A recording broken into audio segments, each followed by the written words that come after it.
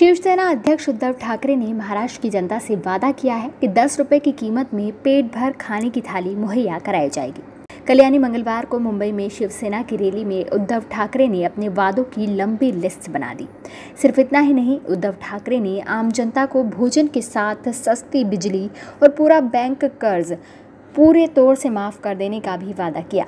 उद्धव ठाकरे ने कहा कि हमारी सरकार आने पर दस रुपये में खाने की थाली मुहैया कराई जाएगी। हमारी सरकार किसानों का पूरी तरह कर्ज माफ़ करेगी। शिवसेना अध्यक्ष उद्धव ठाकरे ने शिवसेना की दशहरा रैली को संबोधित करते हुए ये वादे किए।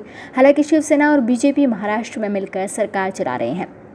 और मुख्यमंत्री देवेंद्र फडणवीस की अगुवाई में सरकार ने अपने पूरे पाँच साल भी पूरे कर लिए हैं।